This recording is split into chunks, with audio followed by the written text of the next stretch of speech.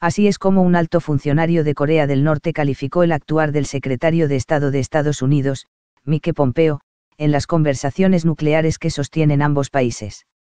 El viceministro Kwon Jong-un, del Ministerio de Relaciones Exteriores norcoreano, dijo que más negociaciones con Pompeo al frente serían pésimas si el secretario mete su nariz, por lo que pidió que sea reemplazado por alguien más cuidadoso.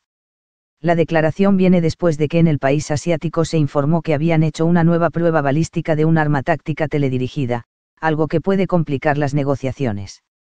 El ensayo es el primero desde la cumbre de febrero en Vietnam entre el presidente de Estados Unidos, Donald Trump, y su contraparte norcoreana, Kim Jong-un, un diálogo que terminó abruptamente y sin ningún acuerdo. Durante una audiencia en el Senado de, los legisladores le preguntaron al secretario de Estado si le parecía correcto describir a Kim como un tirano. Eso causó una fuerte reacción en el Ministerio de Relaciones Exteriores de Corea del Norte, donde el viceministro Kwon dijo que Pompeo hizo comentarios dañan la dignidad de Kim. Y revelan su carácter negativo, agregó. En caso de una posible reanudación del diálogo con, desearía que nuestra contraparte del diálogo no sea Pompeo, sino una persona que sea más cuidadosa y madura al comunicarse con nosotros, expresó. La prueba de un arma teledirigida que hizo este miércoles Corea del Norte fue bastante discreta para los estándares de ese país. No parece ser un misil de largo alcance, ni fue una prueba nuclear. Tal vez no sea un desafío directo a Donald Trump.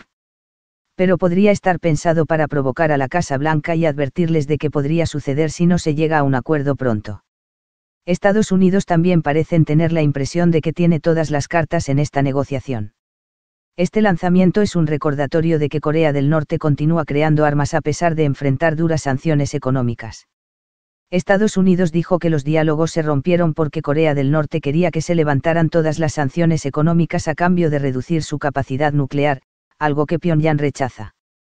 En sus declaraciones más recientes, Kim instó a Trump a buscar un acuerdo que sea mutuamente aceptable, pero también habló de sus excelentes vínculos con el líder estadounidense.